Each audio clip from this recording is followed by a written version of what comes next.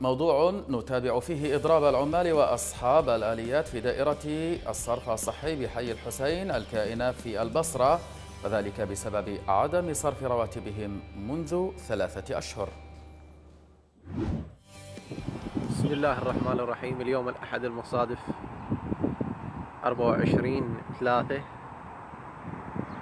ضراب لعمال وآليات قاطع حي الحسين مؤجرين من قبل محافظة البصرة.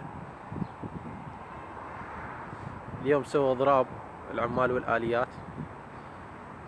لين اليوم الشهر الثالث ما مستلمين راتب.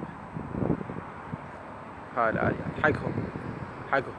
يوميا يقولوا لهم باكر يوميا يقولوا لهم باكر. فأرجو من المسؤولين حوالي من 60 إلى 70 عامل.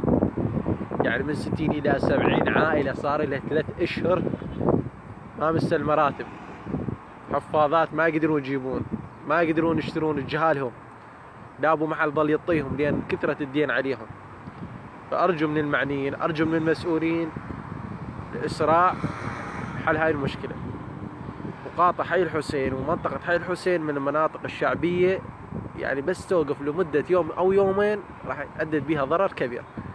فأرجو من المعنيين والمسؤولين وأصحاب القرار أن يسرعوا في هذا الأمر. رجاء رجاء. يعني خطية عوائل متضررة. وعامل مال مجاري.